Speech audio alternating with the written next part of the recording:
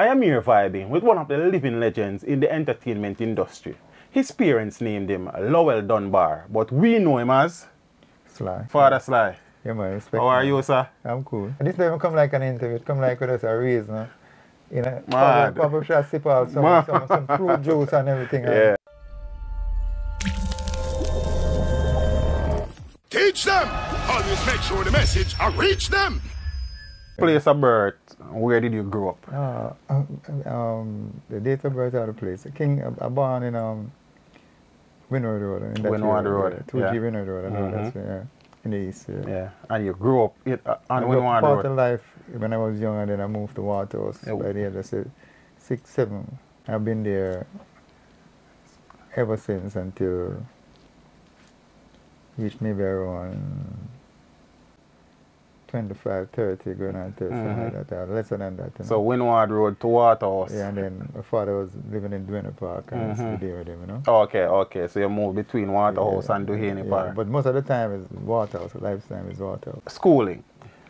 went to um when I was used to live um in Winnover, I used to go to a school called St. Michael's School and then when I went to um, Watersville, I started going to Trenchtown, so I went to the Mhm. primary school. Okay. There's the first time I ever saw a demonstration. Uh, they, they wanted to get rid of one headmaster. and Down at Trenchtown? Yeah, everybody wanted the next one. So there Mhm. was school never kept that day. So they say no cheddar, no school. Trenchtown High. Yeah, to the comprehensive. To the comprehensive. To the comprehensive. hmm Siblings? Yeah, no, no brothers, there's two sisters. Two sisters. Mm. Uh, mommy and daddy still around? No, no, no. Both of them passed on. Yeah, yeah. My condolences, sir. Yeah, man, respect Yeah, but sisters are okay though. One. One. One died. One died. Yeah. Okay. Big one died. Okay. What was it like growing up though on Windward Road in Waterhouse? Well, when I it was a, a kid, and I remember mother and father used to work at the airport, and like you know, when a lot of foreign artists used to come in, she used to tell me that Shirley Lee is coming in today. She saw them at the airport, and whatever Mhm. foreign artist was coming, and she used to tell us, and but she was like into her music still, and everything like that. Yeah. So when I went to Waterhouse to live now, and and everything, the first time I even saw a cow live, you know, I remember. So I can't believe I'm looking at a real cow. You know? Yeah. I think so. Um, living there and start going to school in Trenchtown, seeing some of these artists, Mm-hmm. like you go up hearing about and everything, you know. I've been there for a while, while, while, while, while. Till so my friend went. If I went to KC, I didn't go. I said I stayed to Trenchtown. Yeah. You can our answer the music- yeah, then. Yeah. music and the, it was just grass to the roots of Yeah, the whole thing. yeah. Cause people like German producer, Donovan. he used to go to Mhm. school with me and everything. Okay, that. cool. Yeah. And then Mm. left I went to KC. I didn't go. Yeah. I stayed at Trenchtown Comprehensive and um, I know friends that was was always in the music business. 'cause Obviously, me and Willie Williams used to be in the same class. And, Mm-hmm.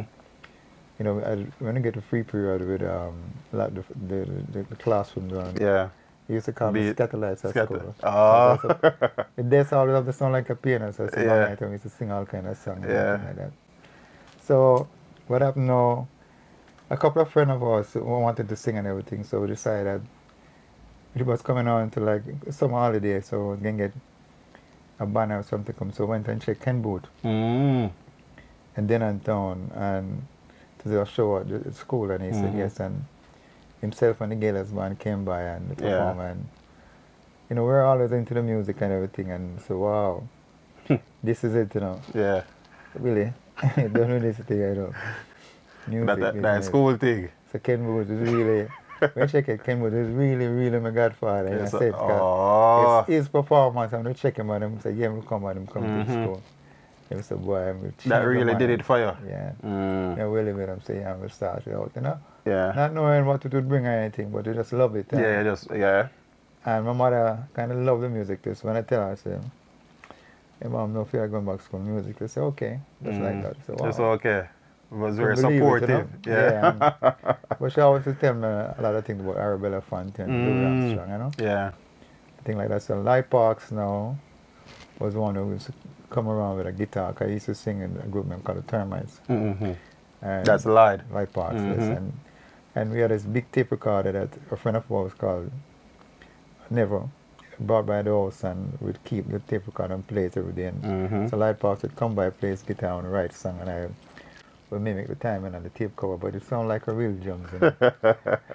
so from there, you know, like just a two time lights come from Studio One. The daytime it come with the guitar. My mother see Lloyd Parks come with the guitar. She always smile. Mm. things are Yeah, make today, you know? moves, yeah. and there, there, there until start playing in little bands and things. I went and played RC Invincible. And Mm-hmm. another friend of mine called Ranchi. Mm-hmm. And then I went and played a little band called Yard Brooms. Yard So- brooms. So Mm. one day, you know, I went down, so I was going to check Ranchi and lie down by RC Invincible. They were at a rehearsal. Place. where?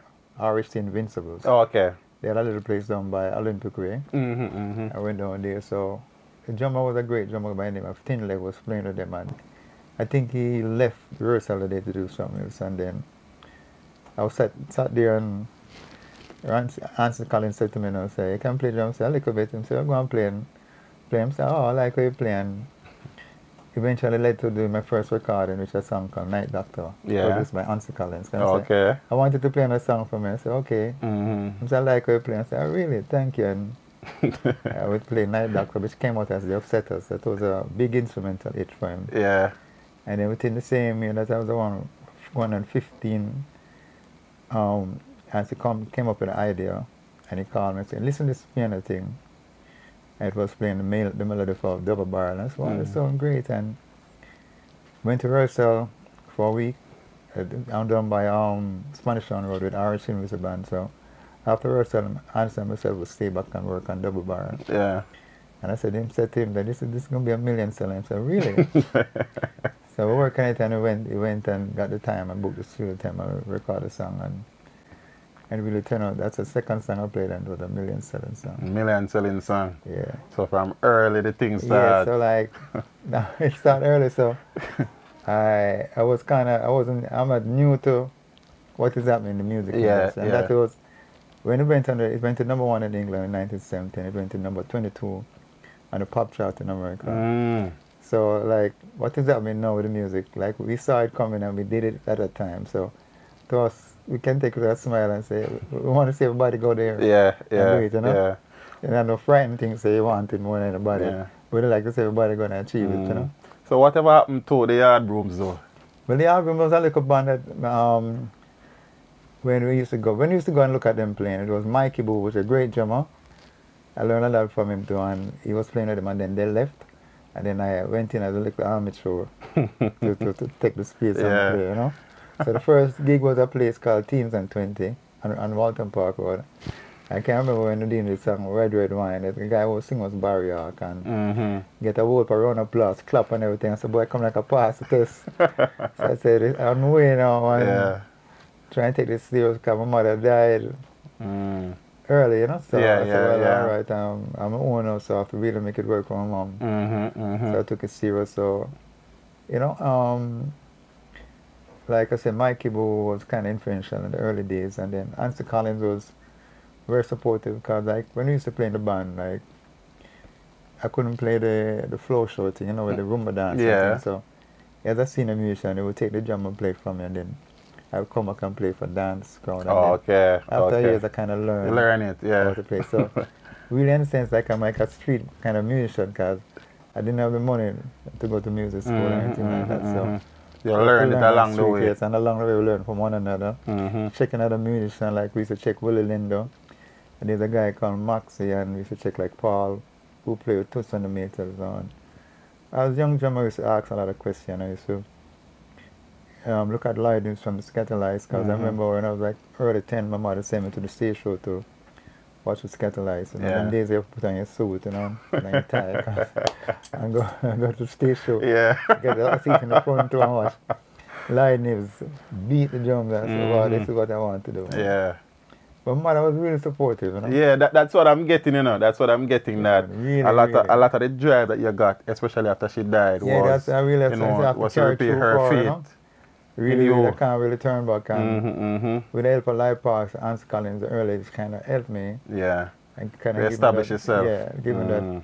that drive, you know. After that came doing a lot of recording in Jamaica, like playing on one of the first dub songs that come out called Psalms of Dub. Mm-hmm. which was produced by Carl Patterson, right? And the flip side of it, of it was Tubbs, King Tubby's mixes was a side that got played was a dub side. It's called Mm. Sounds of Dub. So that I didn't even realize that we had played a song because it says record said don't Sounds of Dub, you know? I said Sounds of Dub. I don't know the song. Yeah. But and look at the, ne- the next one. I say Carl Peterson, like Carl Patterson. I say, hmm. So I flip the one. I say, oh, this is a song called Sounds of yeah. Dub. And say, it was the version. It was like a big seller for dub. It's- You kept on getting better and better. You kept on working with more yeah, and more people. working people. with more and more people, playing in bands. Like you Mm. know, in those days, there were a lot of bands in Jamaica. Yeah. at nightclubs. Mhm. Had another live club. It was strictly like live music, you know. Yes. So we used to go to Orchards, Montego, be all over. and On the tourist circuit. Everywhere, yeah. When did the link with Robbie come Oh, about? the link with Robbie came in like in around 19, around 74. Mm-hmm. Like we used to go down by, you know, Eyeglass Versus down by Randy Street. Down Where by the place name? Eyeglass Versus. Eyeglass dress. yeah. We're Our musician. meet Ah, the music. Okay, okay, okay. Like, it's just the have to go- name, the name yeah. funny, We have to go in and punch the clock, you know. Yeah. I used to go there and meet up and meet Robbie and we start talking about music and everything and when him kind of start sharing the same kind of idea. Mm-hmm. But when me Robbie first came into a session, was Robbie was playing at a club called Evil People Club. Evil people Club. I was playing at, all of this club was names. on, was on Red Hills Road and I Yeah. was playing at Tit for Tat, yeah. Light Parks. And Nancy Collins used to play at a club called Stables. mm-hmm. So on Red Hills Road, every club on Red Hills Road, about seven clubs used to have live band. Yeah. Right. Derek Lara from, from, from the Tamlins used Mhm. to play drums in a band. Seventh extension done by um, in Neptune's Lounge. Yeah. And sing, you know. So meeting Robbie now and a guy named Tauta. Tauta myself I played on a Dennis Brown record called Toto. Um, Tauta. Yeah. Called uh, Money in My Pocket, the original version. Yeah. You played on that. Yeah, the original version. And, I played on the new the, the, the, the remake of it also. Mm-hmm. So Tota, me and Lloyd Parks and Tota played on it. And the, the new remake it was me and Lloyd Parks playing it. So Tota was telling Robbie about me and then they came over to the club and Robbie said, Wow. So Robbie got a session hook up with Bunny Lee. You know, Mhm. A producer. So they put my and Robbie together in the first song and it was a smash and Mm-hmm. Remember what song was- was that? I think it was a, a John Holt song called Too Good to Be Forgotten. or Oh, okay. Okay. And then after that, started doing a lot of sessions Mhm. uh, on Channel One all over. And then I decided, you know, to to make my name in the music after trying to something else. But there were so many good drummers. yeah. Because Jamaica has a lot of great drummers. I said, Mhm. how am I going to Stand out in a field. in a field like With this? so many. These, people are awesome, Mhm. wicked, and trying to take some ideas. And I remember I used to sit down and watch like creative dance with my mom. Mm-hmm. a guy named Eddie Thomas, one of these next Rex microphone and the people. And if I look at the dancer dancing to the beat of the drum, I know when, when anywhere the drum go, the body move is there. So then I start looking back at the Jamaica music and look at lightness, people who set the trend. Listen a couple of songs that they had played and I listened to what they was playing and then I started listening while wide now to a lot of African music, a lot of stuff and hearing what these drummers are playing. Say, what can I do to come inside the music and, and just add what is there? Yeah. So funny, like we are this little studio, a friend of mine called Newton, and um, um, not really in deep in Martha's, but in the same era. Yeah. And we used to go there and, and record every day, and he used to, he used to have a, like a discotheque, and Mm-hmm. he would get foreign songs. Um, and we go there like on a Wednesday night to just listen to a set of foreign songs. how it- His discotheque was just Chris, you know. Yeah. And there was a, a song called um, by a group called um, I don't remember the name of the group, but the drum sound and it was great. And I said, wow, you know, if we could get this drum sound like this in reggae, it would be Mm. awesome. So how can we do that? And then we start learning how, how to get the drums Mhm. to a certain tone and a certain so. Started doing some session at Channel One, and the engineer had left the city.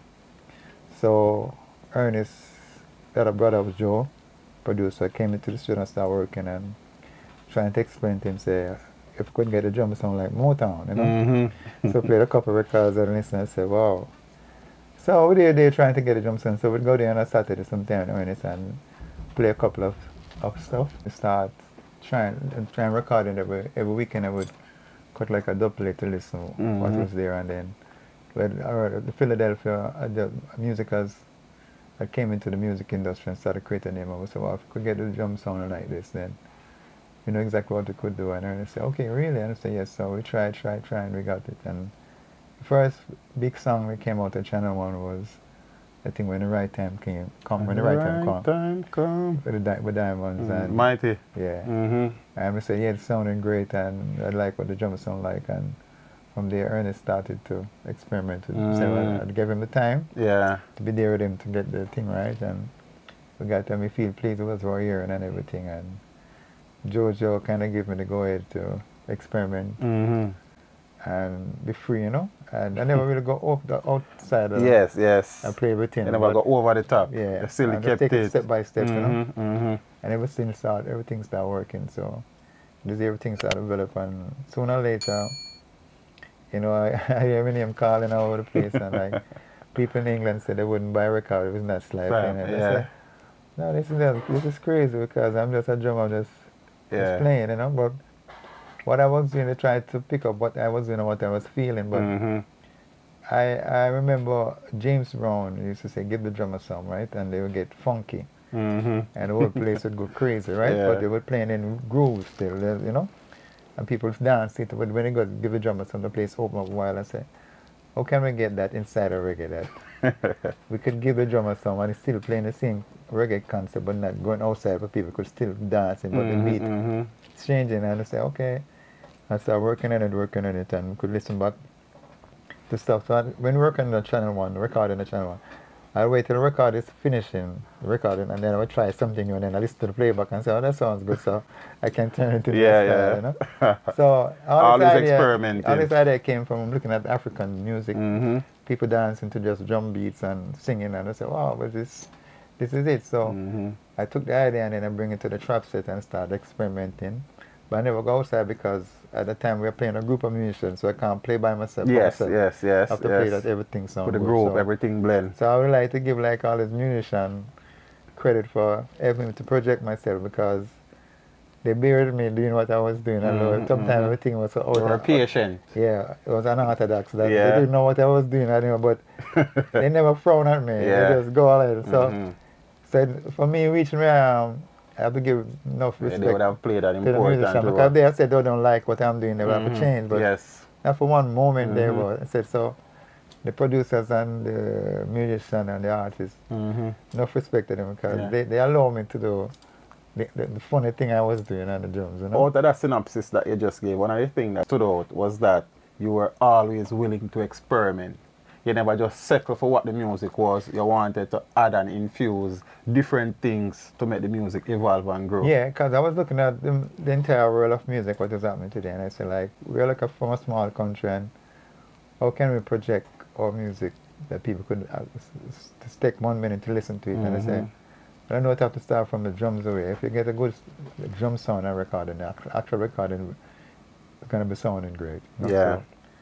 We try and, and try and get that in our recording all the time. Robbie and myself would try to get it with Ernest or the Ranchi would try and and whatever whoever on the session we try and get a, a good drum sound. I play in a certain way that the- the engineer will get a good balance from Mhm. me playing. Not playing too hard or too soft, but you know. Yeah. And we end up with that we feel um, satisfied at this moment what has happened because the jump pattern in reggae has become a norm in the world today. People trying to Mhm. play true, like true, true. Everybody trying to play And like this was what we were trying to do instead of when once one once once ago we used to um, feel a little bit shy when we go to play against an American Yeah. musician because we feel like they're better than us. Yeah, felt in fear. But we realize now that they're projecting their music, so let's project our own. Makes sense. But we create our own style, so they can't tell us we are wrong. So they, Mhm. have, they have to look what we are doing true, and we respect true, what they are doing. So True. We have reached that milestone now when we don't want to look over our shoulder and care who's playing on the next side. We playing what we're playing because this is Mhm. our culture. So Yeah, and the result is there because they keep on sampling Yeah, reggae yeah, and so- dancehall day in, day At this moment, uh, I feel good where the music is at for these things because Mhm. now we have our own drum style and our drum sound and everything. They Yes. have for them, for them Mhm. jazz and whatever they have. Yeah. So it, it's, it's all good. Do you have a number in your head as it relates to the amount of tracks you would have worked at? Well, when checking, and I was speaking to Ansel Collins and I said to him, I was like, how much track you think I play? He said, oh, you know, say you're the most recorded musician in the world. I said, Mhm. really? He said, you played over a million records. I know Over a million records. Because I'm the first one to carry to shoot and you haven't stopped. Yeah. Every day I say, I think so, you're right, you know. So, Ansley still around? Yeah, man. Okay, Talk nice. like every day and nice, give nice, nice. Facebook or something. on Okay, cool, cool. Cause they're, they're, they're my godfather and Lloyd Parks. Yeah. Mm-hmm. We did um, a session the, the other day with Lloyd Parks in here. So those two people, I look up to them with a lot of respect. you know. Yes. So over a million tracks. Yeah, man. I still look at them and say, boy, you know, I'm really feel proud. Because Yes. The one who took me to the recording. Mm-hmm. And um, let him down, you know. Just out of curiosity though, I kind of understand how artists get paid, but how does a drummer get paid? Now, when we used to do like sessions, Yeah. and you, you do recording session, you might get five dollar to play a track, play two track, you get ten dollar. And Jamaican US? Jamaican. Jamaican, yeah. I mean, in the early time, that Early days, yeah. Now it has gone up, and sometimes do a tour, make some money and everything, and you Yeah. You make record, and they get to understand that you know you could write your own song. Some Mhm, drummers feel mhm. like they can't write a song, but I write my own song, and I was I was signed to the Virgin Oh, nice. in 1978. As a writer, no, the music. as a musician, okay. And, and as an artist. As an artist, Yeah, because of the drum thing was yeah, the style was just playing. and It was over the world, some of that. yes. And the diamonds were just breaking. Mm-hmm. And we did the tour of England, so they figure more or less they should sign me. So I made two records for them, you know. Yeah, as in your actual voice. No, not singing. Oh, Instrumental. 'cause instrumental. Musician. You know? Yeah, but that'll lead me into the next question though. um, have you ever recorded vocally? yeah, me and Robbie try a little thing. Rob, Robbie, Robbie, the Robbie, child like thing. Robbie is really the, the great the singer. The singer. I try a little thing. Mm. Robbie say him, him like how I sing, but Yeah. But he was really the singer and sometimes Yeah. kind of help me. And we did, we did an album called 60s, 70s, 80s, 90s. Where Yes. That was the first album. Now, we were, uh, I don't think it was the first one, but Oh. we just, we were doing in Nassau, we just had some time to spare. We just Mhm. mm-hmm. and cut this track and we could cut the album like in two days. And How many tracks were on the album? I know it was 10 or Ten in yeah. two days. Yeah, man. Mm. Now I'm gonna look Two like- genius. Now we cut like 20 tracks sometime a day. A day. Yeah, for the producer. Yeah, man. So out of all of them songs in your voice, um, you can't give me a piece of what? No, we're not singing, man. No. If Robbie there, no, If Robbie like- there, Robbie there, me a I piece. sing, you know, cause Yeah. but, Where- uh, Where is he, by the way? He in Miami. But Ansel. Ansel's a good singer. too. Ansel is a good singer. Lloyd Parks. They say Yeah. Lloyd Parks there, no, but I sing. Cause me and pre, Officially. me and pre probably me be the only interviewer who have to have sing, you know. Me not think get up another interviewer sing. No, No, no, no. They will laugh off me. They will laugh after you. I officially. The Lloyd Parks. Officially, yeah. Officially. Mm. Some of the names outside of Jamaica that you would have worked with. Um, some of the uh, artists. Yes. Well, I work with Nona Hendryx. Mm-hmm. Work with um, Rolling Stones. Rolling Stones. And Mick Jagger on his solo album also. Mm-hmm. Bob Dylan. Joe Cocker. Mm-hmm. Herbie Hancock. No Doubt. Queen Latifah. Queen Latifah. Simply Red. Mm. Um, Gwen Guthrie. Grace Jones. Joanna Armatrading. You work with everybody Father Dunbar. No, not really. And, um, some of them I can't remember. Yeah, I understand. I understand. What would have been your favorite work collaborative experience with Uh, an Maxi- overseas Maxi, Maxi- Priest as well? Yes. Your your, fa- um, your favorite collaborative effort with an overseas Favorite? entertainer, Yeah. or most memorable. Well, everything is memorable because everything was at the point where you have to go there and make yourself No. perform the best. Yes. And everything was went to goal. Gold. Everything Mm. was went goal. You know, Everything gold went record, good. Yeah. So with Bob Dylan, I think, when I said Bob Dylan, he was on his comeback. Mm-hmm. And we were in Nassau and doing Grace Jones and the call came in. Mm-hmm. So then he said, Bob Dylan just called for us. So me and Robbie look at one and I said, Bob Dylan. That's it. So we're a great fan of Bob Dylan still, you know. Yeah. And she said, Bob Dylan wants us to come to New York and play his album. So we went there. So that was one of the biggest um, opening up for us. Like, Mhm. I know we, Peter Tosh took us on the road, and so that he exposed us to the world because there was Bob Marley with Carlton and Family Man, and then Mhm. and they were like one of the they were the top recording musicians at the time. Yes. And then comes Peter Tosh, the offspring of the Wailers, Mhm. Sly and Robbie were the top recording musicians. So that's where it started happening, and then the Grace Jones stuff opened another door for us and put us inside because they didn't know it was Jamaican musician really playing Mhm. it. And the Gwen Guthrie stuff now, which was R and B. Yeah. People heard it, Crossover. And Yeah. people wonder where these things coming from. And when I look at the record, I, say, I can't believe it. And then after that, a lot of things started coming in, coming in for us, work and Mhm. everything. I work with a couple of Japanese musicians like Ryuichi Sakamoto and these people. And, and Sonata, Sonata, what's name again? Another Japanese guitar player. Mm. Where we had two drummers and two bass. Yeah. Marcus Miller and Robbie myself and Omar, Omar Hakim, whatever, I remember. Omar something. And Japanese. no, Omar is an American. Of all the international collaborations, which one has done the best financially? Every one of them, I mean, for them, all of them went gold. I would figure the Rolling Stone stuff Yeah. was really good. The No Doubt stuff was good because they got first two Grammys they win. Yes. Win Life was the Mhm. was the track we produced to them. oh. But the Bob Dylan stuff was was the stuff everybody was looking forward to. And they was one in What was the name of that album? Infidels. Infidels. so they say, hey, choose Sly and Robbie to come and play. So everybody was wondering, Yeah. but And you played on all the tracks? yeah, on the end product, when they heard they couldn't believe it. They said, Yeah. wow, this is like, but he wanted, I think he wanted something different. Like you heard some of the records that they're playing, Yeah.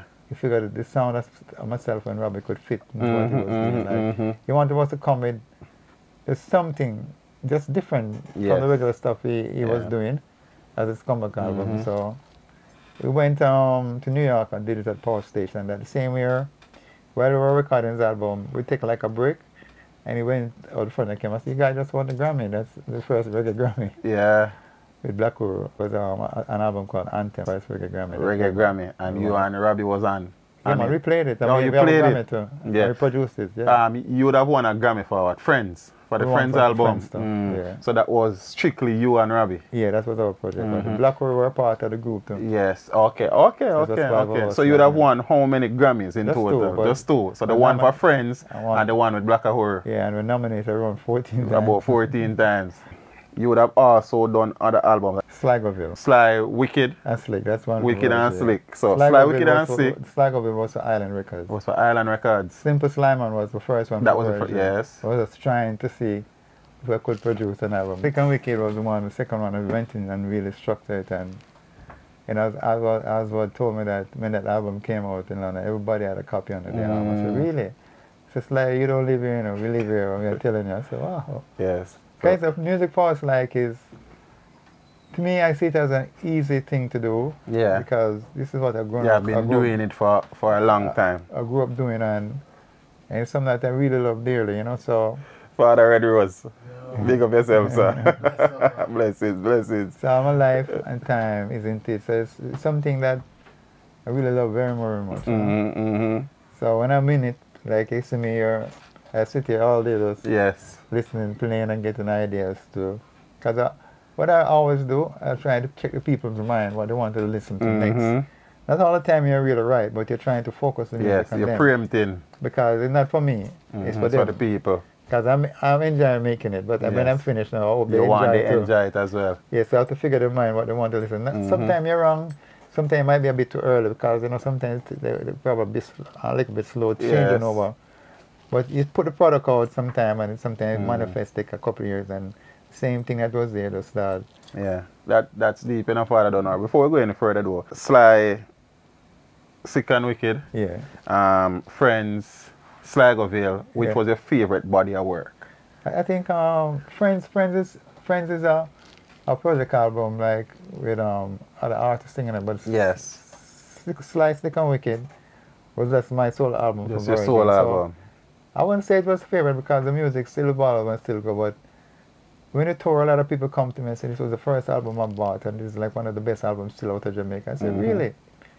And a lot of people say to me like, like why stop doing solo albums? Although you rub it together, but you could still make a Robbie Mhm, mhm. Sly and Robbie album, still do a slide Yeah. on bar record. Because I think of some of the weird things sometimes Yeah. to do. And they say if they, they, they kind of miss that. That's well no, but Sly and Robbie is stronger. So Mhm, mhm, mhm. Well, fair enough, fair together, enough. it- it's much Fair enough. thing. You would have worked with almost all the icons and legends in the Jamaican entertainment space. yeah. Like, you know, we start calling names, what would have been your favorite memory or experience working with a Jamaican entertainer? Why? All the Jamaican entertainment who I've worked with were very important to us because, Mhm. I mean, if you work with an artist and the artist become a hit or the song become a then people start asking who's doing it. So every project you go, every artist you try to work with, you try to get the best, try to lay the best rhythm for him so he could have a hit rhythm or so- hit, song or something like that. So Mhm. everybody is really important to Yes. work with. You can't look and say, I don't like this one, I don't like. once you go inside to make it, when Rob and me, myself think, we say, okay, we're going to try and make a hit record today. Every time we go into the studio, we say, we want to come out with a hit. Uh, if not a great hit, but some popular kind of song that, Yes.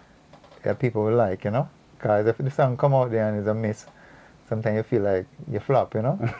so in our arts and so when we're going, we're going to try and make a hit record. So Yeah. every artist is important to me, every one of them. What was it like working with Peter Tosh? It was great. That was a great experience for us. Cause like, when Robbie had asked me to come, if I want to come and join him with Peter Tosh, I said, because I was, I just came back from a tour with Dennis Brown in England. I said, yeah, Mhm. man. So Robbie and Peter had went up to New York to meet with Keith, Richards and Mick Mm-hmm. about signing Peter to the label. And we come back and first album we did with Peter was Equal Rights. Equal rights. Yeah, that's the first album. And then we went on on tour, you know. So and everything started happening. And Rob and myself, you know, them, those times we share room together because you know, the budget and Yeah, yeah, yeah. Start talking about how we can project the music and what we could do and what we. I start experimenting a lot, you know. Mm-hmm. And this is where we are today, like you know. So we had a vision to try and make the the people happy, and we were looking back at the stuff the Skatalites had playing people like Jackie Mittoo and all Mhm. the the older musicians had put into it, and we want to keep on the same standard with them. They make it made us happy as kids growing up and listen to music, so we say we want to do the same, Same thing. thing. So, Reciprocate. yeah, yeah, Mhm. yeah. Did you ever get a chance to work with Ken Boothe though? Yeah, man. Ken Boothe did a song for us. We did a version of Show and Tell. Mm-hmm. I did another another song for us. But Ken Boothe is like one of my favorite singers, you know, from ever since. You know, and Yeah. alternators. I work with Mhm. alternators. So but all of these artists, like the old artists, Leroy Sibbles, uh, Jackie Opel, um, Winston Francis, the Gaylads, all of them taught us like this is this is these are the people we learn from, right? Mm-hmm. So respect them so much and look up to them very very highly, you know. Yes. Have you ever built a track where when you're listening back, you're disappointed? Um, yeah, yeah. Sometimes we go back in and try correct it, you know. Mm. Sometimes, but we working myself with Robbie, and sometimes we we use an outside producer. Yes. We'd have some guideline or somebody say this Mhm, is better or mhm. that is better. Because sometimes we might think it's all right for an and then the person up like we, we work with a producer in, in, in America called Bill Laswell, and he produced a couple albums for us. He produced an album called Rhythm Killer, which uh, we had a 10, top 10 song from it in, in England, and Mm-hmm. he produced a song for us which wasn't nominated for a reggae Grammy, it was nominated for R&B Grammy. Okay. An So instrument another nomination that. Yeah, so we work with a lot of outside producers, and most of the time when we go on these sessions, they kind of leave everything up to us, you know. Yes, yes. But we don't, as I said, we don't go overboard. No, no, no, we no. We try to play it because we're looking to get a hit record, so we Mhm. work together with producers and outside people like Bootsy Collins and all Yes. these people. We come on board sometime to work, Yeah. you know. This might be an unfair question though, seeing that you said that you would have worked on over a million tracks. Yeah. What is the single favorite track in your head that you would have done? That one day you sit down and you play it as Alright. often as you can. I tell you, every one of them is like, I mean, to me, everyone is important. One, Yeah. even the, the public even sometimes they bring my attention back to certain things. Yes. I might never really like it so much, but when I see The acting about it, appreciation. what appreciation, Mhm. I say, I don't know a choice but to love this record because they're loving it, you know? Yeah. So every, every track is like, I sit, I sit back and listen and say, it's all right, I could have played it better, but the people love it. So, Yeah. like, like for example, I remember when we played um, Jacob Miller's song, All Night Till Daylight. It was a festival song, and we did it the morning and we went down to Channel One to do um, Freddie McKay, Big Hill Boots. And I remember as I walk into the studio, um, Jojo say, we have to win, you know. I say, yeah man, we have to win. you Yeah. know. I never heard the tune yet, but Oh, you never hear the, the, the Biggie vocal? Yeah, okay. No, never. So when I walk in, they were working out. Mm, Bobby Mhm, Ellis was working out the mm, mm. horn part and the singing. So I sat down, so I listened to the song and I said, wow. I said to Ernest, I call him China. Said, Soup up mm-hmm. the drums, China. Soup up them drums. Yeah. We're going in for it and went in for it. And when I heard the song, I said, wow, this like, section sounds good. So I went to the cup of the cymbal and started playing like a festival thing to give this happy feeling. so I was Mhm, thinking mhm. back and all the records that we grew up listening to sounding very happy. So I said, well, this is a festival record, so I have to make it very happy. So Mm. And just as I kind of predicted it, it came out the same, and that was the winner. It's one of the ones that you love a little bit more than the others. No, why I love it is because um, that's that's the, the, the construction of what it was for the Yes, festival time. yes. Uh, Ira was sitting beside me and he said, part two. Yeah. The way the record and I changed the drum pattern a bit and hmm the studio was like on fire. Yeah. cause, Good as memory. I said, this song was like a special kind Yeah. of festival. Mhm. Everybody want to win. And it all depends on the kind of recording that you're, you're going to be doing to Mhm. make the song a winner. But you see, uh, Robbie himself has done a lot of work with Jacob Miller. Like, Yeah. before they were back with them, we played a lot on the song. So, yeah. Mm. But Jake and I were like good friends because when we used to play tit for tat, he would pass through on a Saturday night and sing two songs, you know? Yeah, And yeah. his friend smoke and then go down to go to the next club, sing two And two. again. So I'm saying, no, playing a tit for tat. So Yeah. yeah. my checks line come in and Mm. when Jacob come like it was a cool hombre yeah, though. man, he come by the bandstand and I'm still signal to him, I say, all right, and say, yeah, Mm. man, know the song, I would just Yeah. play him song and sing two tunes. You ever played for Bob? Yeah, we did, um, I did Punky Reggae Party. Mm. And I did some other song for him by Oli Perry. Oh, okay. But we used to talk very, to Bob Yeah. as good friends, you know. Like we used to go and check him sometime. Yeah. And when he, if he's in New York and we are there, we always go and check Link him. up. Yeah. Mm. You played a lot for Lee though. Lee Perry? Scra- Lee Scratch Perry. We did a couple of songs for him. I did a couple of songs like um, Police and Thieves Mm-hmm. and that. And I did, I think I did a version of a song for Bob he sing um, Smile in Jamaica. There was two versions of it. I think I do. I play on so many tracks sometimes. I don't know the name of the track. Yeah. I, I played on lead. I play on lead. Understandable. Understandable. And so I don't know the song came out or what name it came it, that, it, it will come under, so Yeah. I don't know. Yeah. know? Do you have a catalogue of your, of your songs them though? No. No? no. How It- come? In them days, it was so early to, the catalog, um, catalogize the song and everything. Mm. So it was just, you, you're young and you just, Yeah, have fun. You're just playing, I just love Yeah. it and everything, you know. Mm-hmm. But now everything is, is can, can be um, categorized now because there's so much way to save it. And Yeah, a lot of people, especially digitally. I'm telling some people are doing it for me and telling me. Mm-hmm. How many songs I've done and, and all the songs tell me Yeah. which song I played and when it was done. Yeah. So really, you know, so yeah. Not the pride though, Father Dunbar, but the royalty check seem like them heavy man. no, not really. We come in. We said really. They come in and just like, but as as musician, you to go up and just say, you know, spend on equipment and you know. yeah, yeah, because you have to keep the thing Yeah, evolving. but most of the spend we spend it on equipment Yeah. for you yeah. to go to the next stage time. I know all happen- about that, sir. What happened? You have you're competing with the outside people. Yes, man. And in that world, you have to have the stuff that they are using. Then, yeah, to compete with them. Yeah. Mm, makes sense. Looking back at the career, is there a moment that you can look back where you said it was a regret? No regrets. No regrets. No regret. No regrets. Then I just sat down and I said, if I know the music, what I do? Yeah. I said, no, I couldn't take it. I don't know what I would do because Yeah. I'd be the most boring person in the world to me. but the, the music is like, I don't, I can't, I can't explain what it has Mm. done to me and, and plus other people who are not musicians or just listeners. Yeah. And I see their reaction when they talk about music and I say, wow. Mm. So for me, music is life, it's everything. Is there anything that if you had the chance to do, you then do differently? Do over, you then do differently? Uh, in music, Yes. In your musical journey, career. No, well, I have to thank the Father still because I think it's, He knows the direction to take in and it's just one step at a time. So every mistake you make, you try and, cop- and correct it. So I don't think, um, I kind of feel satisfied. I mean, it could be better still, but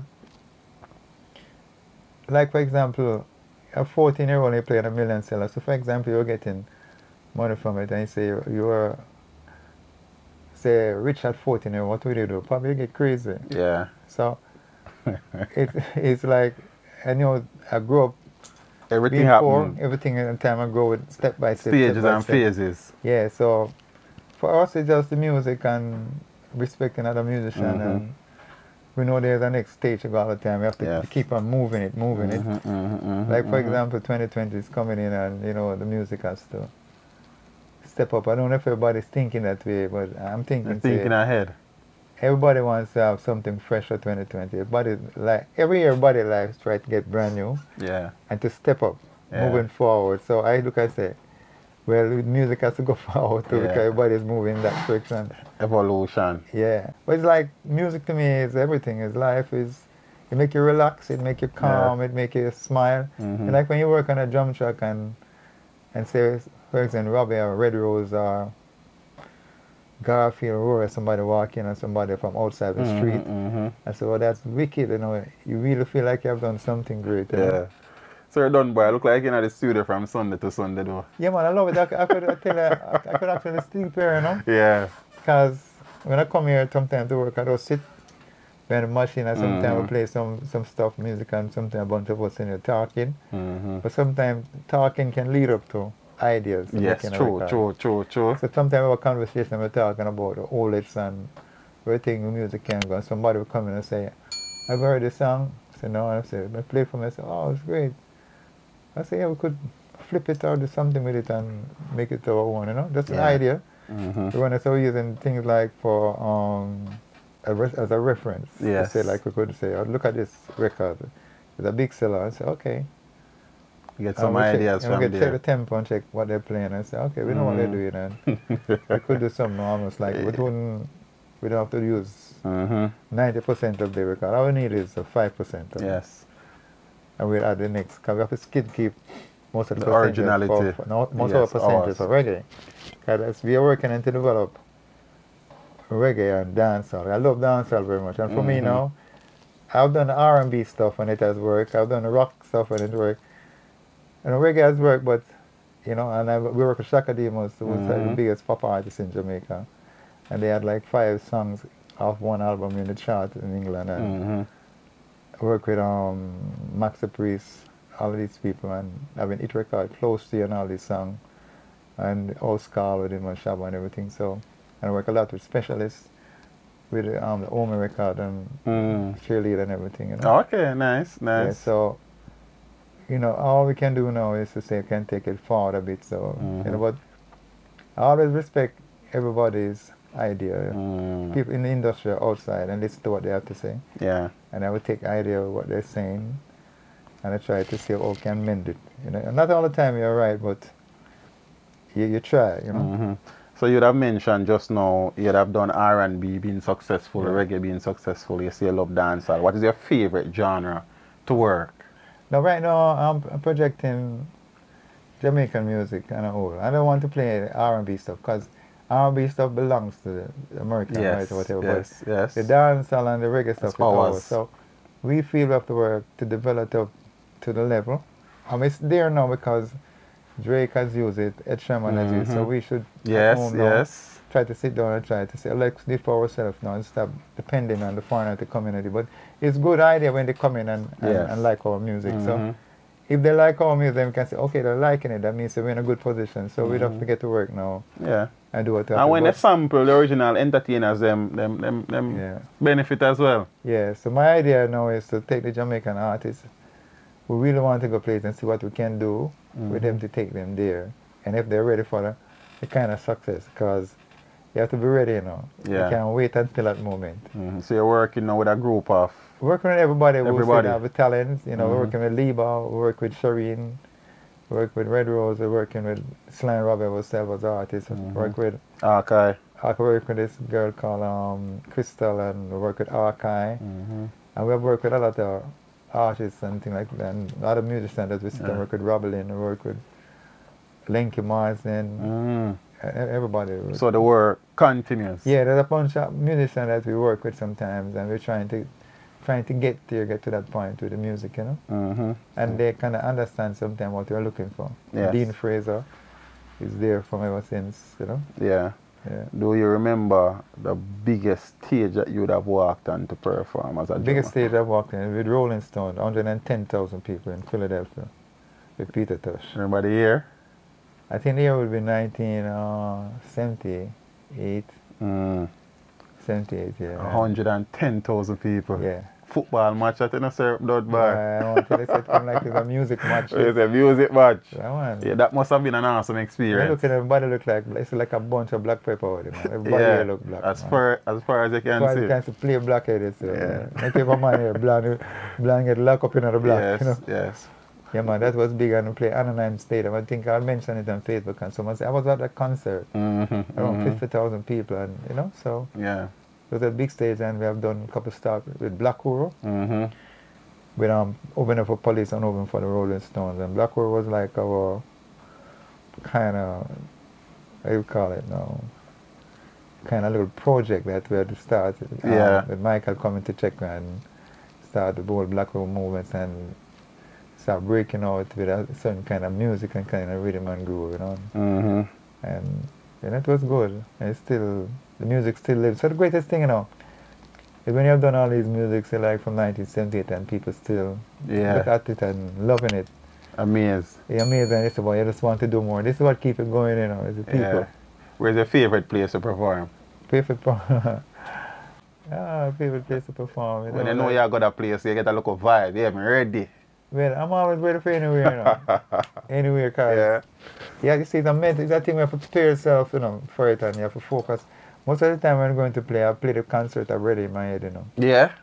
Yeah, man, I sit and look at it because it's something you have to really take serious because you're going to on stage to perform and you really want to perform. good. So, Mm. so you have to meditate on the performance. Mm. How you can perform, what you can do. Like, you're not going to do anything crazy, but Yeah. you just hope that everything Yeah, envision the performance Yeah, from yeah, before it. yeah, wa- That, yeah. That's good, guys. It's good for, for, Like for even when going on, going on tour, sometimes start exercise and start working out. Start Yes. Make sure you're fit mentally. mentally and physically. Yeah, I know you can really play and perform. And so when you walk and like to do the first show, the first show is like a dress rehearsal to get it right. I say, okay. Ready First to go now. First show cool. I say, say, yeah man, wicked.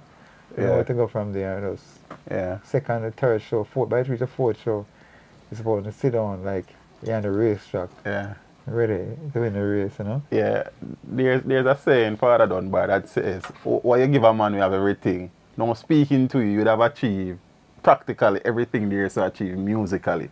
But you keep on working. Is there something that you have not achieved as yet musically that this are the thing I want? Well, you see, the people mean a lot to me, you know, because see, them who, the one who put us there and mm-hmm. I always have to always always rem- remember them. I know that they are there listening and not saying I'm the, the best musician. I'm not the best musician or anything. I'm the best drummer. Eh. No, I'm not. I'm not okay. Come on. I'm just being myself and do what I Yeah. feel, just that I think of and Yeah. just do it. You know. Many people disagree with you on that though. No, I, don't, I never. I never think I'm the best drummer. okay. Like so you're always aspiring to become the best then? no, I No? never, I never say. I, when I was younger, I used to pray. Mm-hmm. I God tell me be a good drummer, Be a good drummer. but I don't think I'm the best drummer. I just be myself. Yeah. And the way I think of it, Yeah. like I will sit here and I think I'll say, okay, I could play the way, so I just go in and do it. And then people say they like it, and I don't have other drummer probably doing the, t- the same thing I'm doing. They might not be doing it, Mm-hmm. but people usually know what I did, and people say they like it. Like Yeah. when I did the right time come, I was thinking I was just playing, and I did it, and Yeah. I said, wow, this is wicked. The right time. And Come the everybody right starts, at that time. man, say sly say, oh, Yeah. let's sly. Yeah. So the next time come, I go all out and try find the next thing. Mm-hmm. I want to say, yeah, this is wicked. Um, like, for example, I can give you an example. Like, you know, like, um, ah, could I live Dennis Brown, right? Mm-hmm. I wasn't the one who did the original track. I was on tour. When I came back, um, Errol Thompson said to me, like, Joe Gibbs wanted to come and hold up all of these drums. I said, um, really? 15 drums? I said, no, I mean, what, what's wrong with them? I said, they're not rocking. I said, well, Yeah. I know when they say not rocking what it means. I said, really? But these are good drummer players. I think everything sounds good. I'm saying, no, that's what you think as a musician, but they wanted to overdub it. I said, okay, so first thing, song I went in and they said, put up Dennis Brown song, because they really need us to get the Dennis Brown. Yeah. said. So I tell them, like, I was listening to the bass line at Lloyd Parks at play, and I said, it's one way I hear this, you know.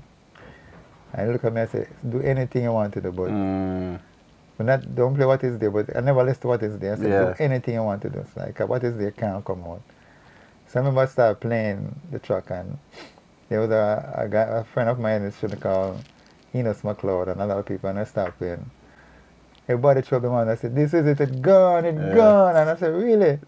But this was, I'm feeling for the song. I don't know what the other drummer was feeling And- when heard the song. Mm-hmm. So I would sit closely, because what happened is, I used to dance, you know. Like I used to Mm. dance on television, TADP and these things. and- Yeah.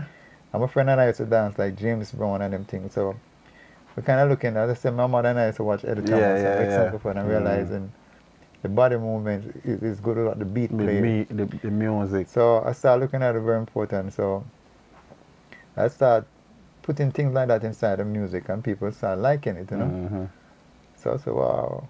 So your, your dancing background help to influence the type of beats that and you then- and created. playing in club bands for dance people. 'Cause we were playing against a discotheque sometimes. Yeah. We had to keep people on the dance. Yes. So we was selecting the kind of song and to keep people there. So we have to play a certain way. So with this kind of soulful feeling, you know. Mm. yeah. So we, we put that in the kind of recording. Like for example, there's this guy by the name of Serge Gainsbourg, and he he's from France. He's dead now, and he came to Jamaica to do a recording. And he came and I said, I know, I know this name, and he was one of the song called Je t'aime, and I said that might be the guy. He came to Jamaica, did the recording, did the French national anthem in reggae. And it, it, this is the biggest selling reggae album ever Yeah? in France. And the other Mhm. day, they celebrate 40 years of it, and I went, was in France and went to do the interview because they're saying that you're the, we're the only one that, and we were there this time, but did a lot of interviews on it and big Yeah. celebration and everything about the record because the Mhm. biggest record, selling record. Yeah. Three interviews though, Sir Dunbar. You look like you don't do a lot of those. No, interviews, interviews. Yeah. Yeah, man, I, used- I know how important interviews, but sometimes I choose which one I want to do because Okay. sometimes you have to be in a mood sometimes to the interview. Yeah. Really, and sometimes not in because sometimes I like cameras, but Tell you sometimes, don't. yeah, you know, but sometimes. I'm happy that you chose this one, sir. Well, I don't know what to do. You probably, you know, you're probably sent from the from God himself to do this Yeah, interview. you know, yeah. what happens is, you know, I'm a very kind of shy person. Yeah. time, I and- kind of sense that still. yeah, and I, I like staying behind the scene, you know. Mm. Cause you say the front line is good and the front line is bad, and you have to know True, how to true, toddle true, it. true, true, So true. sometimes you just make music and just make the music speak for itself. And, Yes. And just stay behind, you know. If Yes. there's something important come out, have to come up front where you have to do it, you know. Mm-hmm. But if not, again, just stand behind the curtain and stay there, you know. Yeah. The music today, though, I'm speaking about dancehall per se, Yeah. because you say you love dancehall. Is there anything about the music at this point in time where you would change if you had the opportunity to do so? But not a matter of changing. Some of the guys, are- I think a lot of people are doing good and everything is happening, but we still have a next like a bridge that we have to cross. Mm-hmm. I think what we need now is like we need some good sound, good melody. Yes. That's where all the beat can come with the melody, but a lot of us is living off like making a rhythm and give it to me and then go and write a song. Nothing's Mhm. wrong with that too, but like when we're doing song like for Capleton dance and like say um tour, Mhm. Capleton was in the studio performing to him and making it for him and he Yes. was performing the song and we were playing, looking at him and he was boogering at this song. He was inside singing it. And we tried to nail it, his attitude and to try going with attitude and everything. So that make a lot of sense. so even when we're coming up a musician, like Mhm. although the right time come with a track had made and diamonds, yes. um, sung in it, right? But when the artist is there, it's a different thing getting the artist feel and his personality in the song. Like all of these Black Uhuru songs were made with Michael and the group inside singing, Yeah. and we're making rhythm for the song. And even check um, Revolution, Dennis Brown was inside singing on the microphone. Hold on to what he got, he was there. Um, sitting and watching, he was there singing. So when those rhythm drop, I mean, there's no way it could not be it because Yeah, Dennis was in because it front was of you. there. And he was singing with it's the emotion, and you're looking at how he was performing. And he would say, "Been and watch," and singing, and you see his movement, and he Yeah. was grooving off of his. So, That make a lot so, of sense. so this is where this uh, most of these rhythm like champion rhythm. You can't Mm, erase it. No, no, no. True, You know? true. Because the art, yeah. Yeah. make a, so you're saying then one of the things that these the, the younger generation of artists need for do instead of just making a man build a rhythm, send come give you, you're there on the spot. Yeah, it's, it's good enough. So the emotions are captured. Yeah, nothing wrong with that. But when artists Mm. come in front of you singing, right, yeah. and look at the artist performance, how he's singing it, then you start shape the groove with him, because he's there in front of you. And all of these Black Rose songs, there's no rhythm. Everything was made for them. Inside singing, I would say, this is the groove. And Michael would sing and look at and watch, the- watch the attitude when they hear the beat playing. Yeah. I say, yes, this is it, this is the groove. So when the time comes to voice, you made that yeah. song. The If song get already. if you're doing like 10 songs, each Mhm. song would have a different feel. Yeah. Because they're not singing the same melody. Yes. I've played some in a different pattern and you play that way. Sometimes you can go and make um, a rhythm is for an artist and it come out voice, but not every time it's gonna work. Yes, yes, yes. With artists who come out, some artists need to get the rhythm, the beat 1st hmm to write. That's all good too. Yeah. But if the artists come with a song, because some artists come to a song and can't write so good by themselves, but they will come with give them the beat and they will write on it. Mm-hmm. That's all right. It Yeah, works every, sometimes. it's different things work for different But I think when they come in front of you and sing, I say, okay, I don't think his kick drums sound good as his voice or, or anything, so let's try this one. I think it worked Mm, best, you know, because I proved it with the Capleton stuff and yeah. it's in he was right there with the flagman inside the studio. Tell him, man, was, the studio was on fire. That must have been a good experience. Yeah, I said, yeah, man, on fire, man. So even the same thing like when, when Ansel, we were singing um, Woman Like a Shadow. Mhm. He was inside singing it. So you look at him singing and it took us around four hours to cut that record. Every Yeah. time we reach a certain part of the song, we made a mistake. Yeah. I have to play back with the same intensity because you don't know which take is going to really happen. so this is where you really capture the artist, Mm-hmm. feel and input into the whole Mhm. recording of the musician and the artist together. Yeah. Now the musician going to make a rhythm and sometimes the artist you know the funny thing about all of what you say, all the songs that you'd have mentioned where artists was there when you're building the rhythm, all those songs have been monster hits. Monster hit, man. Yeah, man. Must work. So there, there's there's a message in it. Yeah, man. Even uh, when, uh, for example, I listen like Mr. Wireways with Carl Malcolm and No Jestering. Yeah. He was in there singing. And he make it Mm. just like his image. Just look how he's singing and he said, This is how it has to be because he's always feeling it. And watching him, this Wireways. Cool, but he just. Yeah. I mean, Joy White was singing like she was like, it just a dread out there. She was there singing it. So Mhm, mhm, you mhm. see her action and you see, and so this is the way you have to play the cards, you know? Yeah. So it's, it's, it's, it's, it's different. Even, Yeah. for example, when we did Buckingham Palace with Peter, everything was inside. He was, you know, we were playing and Peter was singing the guitar and you see the whole groove. Can I said, this is it. This is right there. But I love the dancehall thing very much, and we still have some more development to do with dancehall. Can, can, it's dancehall. The sky is the limit. You can Yeah. go anywhere. Yeah. And we don't. We must look at it as just dancehall. We have to look at it as music, Jamaican music. And if we get like the backing up of the musician to come involved and look at it as serious, it can go places because it has a lot of um, character in it Mhm. True. and it's locked up with everything African, Latin, calypso, everything is inside of it, and it still is Jamaica. Yes. I think we should project it and real, but we need we need some songs, Mm. melody to to really enhance it now, you know. Yeah. Family life. Married? Yeah, married and it's cool and easy, but yeah, that- that's just a free man. Yeah, the wife. No, it's when it comes to music. Yeah. Every daughter and body. yeah. From ever since, because I've been doing this from a kid, you know. So Mhm. everybody know this is what They know the story. Everybody just knows add up that. and adjust. Everybody knows that. My, niece, my nieces, them. Yeah. Then just know the freedom of just give me the music and just Yeah. leave me. I mean, alright. I don't even want the food. Kids, Just one. just one. Yeah, man. And that's cool. Yeah, yeah. Everybody knows that. You know, Chris Blackwell used to say that put Slime Rob in the studio and leave them. Don't worry. Yes. They'll find it. Yeah, they'll find it. And Robbie's okay. Yeah, man. Yeah, man. Everybody's fine. Mm, okay. And, So- there- there's a, and then there's a lot of young musicians and producers and engineers coming up that most of the time some young artists come around us and sit and talk and show them much love, you know, give them Mhm, mhm. That's important. What they can do and like sometimes I was talking to Ziggy and I say, you know, it's hard to, for me to leave Jamaica because then the kids are there growing up and they just want somebody that can go to and ask some question. And if I should Guidance. If I should leave when people like Santa is a good drummer is not in Jamaica no more. These people say a lot of recording, like Carlton Barrett used to record this. Asmouth is here still as a good drummer. hmm Paul Douglas is not here and certain people. So well, Desi Jones is here and everybody. So sometimes I, me, I might be one of the more popular of the best now, but I might be the one who out there doing a lot of work and it's Yes. working. So um, they would come to me and for Father Sly and just ask a couple of questions and I would explain to them. And they would ask, oh, you do this because it sounds good like somebody to come to me and say, this producer guy, said, well, I love the snare that I use and I ain't come out to record. Mhm. I said, really? I say, you laugh and I'm say, yeah, you say, you like it? I'm say, yeah, someone just love it, you know? So in music thing, like, if they don't have somebody that they can go to, like, they know the slides in Jamaica, slide, we can find slide also. hmm hmm But, you know, America and all outside the world is good, but Jamaica is a special place, you know? True.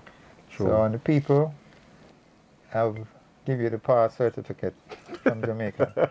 and for me to go you there shine, Yes, give it the yes, Jamaica public, yes. hmm stamp it and say, Sly, you're good to go. hmm And I, I my Robbie went out there trying to keep the flag flying. And I mean, I don't know if it worked that much, but probably worked a little still. You know? So, Yeah. But we give thanks to the Jamaican people support, you know. Yeah. Really, really, they're very important. Very, very important. Mm. And when we're making music, they're the one I think of them Yes. and how they're gonna react to it, and I look at them probably dancing. Or what is? Because they still make a lot of like instrumental. Because some people love the instrumental. you know? Yeah. And they look at us and they come out with some instrument. They're not gonna sell big, but you never know which one is gonna You sell don't know. You don't know. True, true, true. it might true. make it today, and then it's five years, something that they use the You track. trigger it. Some and the track trigger. become the biggest. True, true, So- true, true, true. You know, so when we're making all this thing like Night Doctor, we didn't know it would be a hit. We just Mm. record it until keep on this record and double barrel was the same thing and it became a monster. So I kind of learned from that kind of school that it was going to make a record. know. I am not some somebody who's as steep in the musical aspect of the music as some people would be. But growing up, I have been hearing about the Rhythm Twins. I have seen, I've listened a lot of things, and you are not saying it. You say you're not the best, but you are probably the best I have heard. I try to be good, but I don't know if my, my being good is good enough, you know. But uh, the first thing I learned, like I was this drummer by the name of Earl Young, right? hmm He plays for Philadelphia International. I don't know if you know the MFSB. No, not familiar with. Well, you know, like all these OJ songs, like Backstabbers, you know the song. Right? Yes. He's one to play on those songs, and if you don't know me by now, and you know, he used to go play with the Delfonics, right? Yes. He's one to play drums and those things. I, I look at his Facebook stuff and the amount of trophy and gold record that he have won a song he has played on, you know.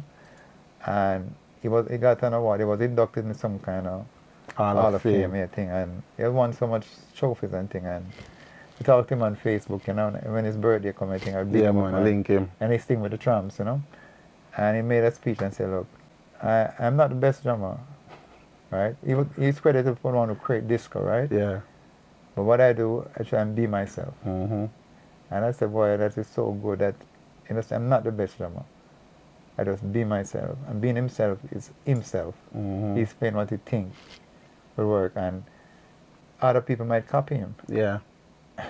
But he says he's not the best, but he's just Mm. being himself, and this is what he's feeling. I look at it from them time as being, this is what I'm feeling. I don't know what the next guy's feeling. Speaking to you, I realized that your mother was an amazing influence on, on your life.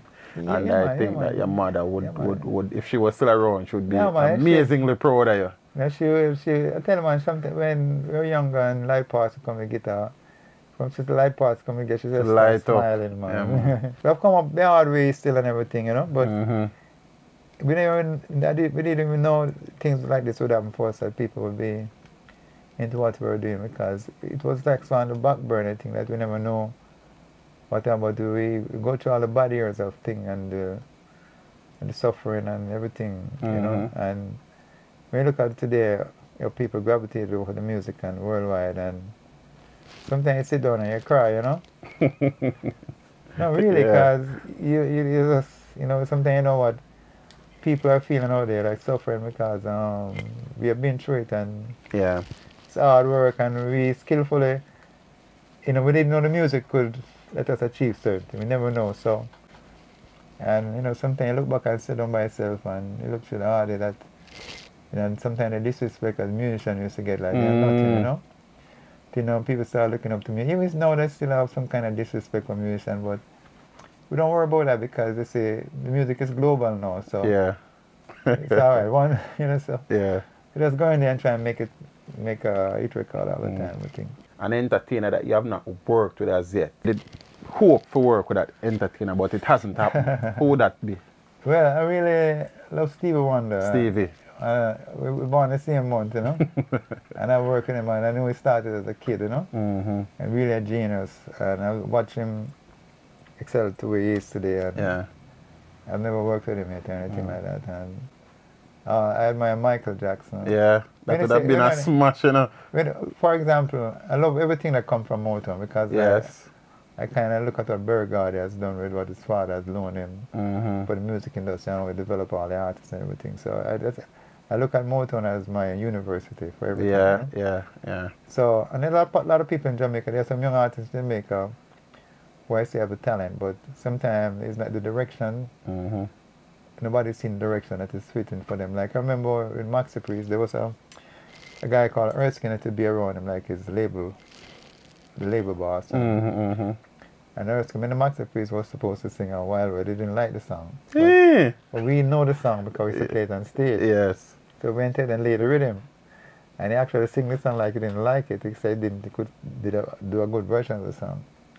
And starting to come out to be one of his biggest songs. Yes. Erskine had chose that song for him. Mm-hmm. So in this case, what I'm trying to say now, sometimes you have to have somebody who's thinking of your future as, Yes. as an artist to come and look Mhm. at the song that they think you could do or suggest it. It's just suggestion. It's not nobody being a star, being out Yes, there. yes, We're just working together as teamwork. Mhm, And yes. say, okay, I think this could sound good. Because sometimes the people them around you say they think further than you are see it Yeah. sometimes. You know. And we did, and I remember when we were doing Close to You now, Mm-hmm. it was the last track that came in, and I said to them, so well, the drum is cool on it, that is there. And Max said, no, no, no, no, Sly. Take off. Take off said, no Sly. He said, take off them drum, they put one slide on by Yeah, drum. I yeah. said, all right. so I said, listen to track and put on the drum, and it was really right. Yeah. It was a difference, you know. And it, it became a big number one song for him in America. So, you know, Chaka Demus was great. And, I Mm. mean, most of the artists are great. Dennis Brown, Gregory Isaacs, like Gregory Isaacs like, gave us our first number one. He was always there. Which was the, what the song was that So again? forward. Soon forward. He was always there from being. So, yeah. most of the time, you know, I, me personally, me want big up all singers, Yeah. all musicians, all producer, Yeah.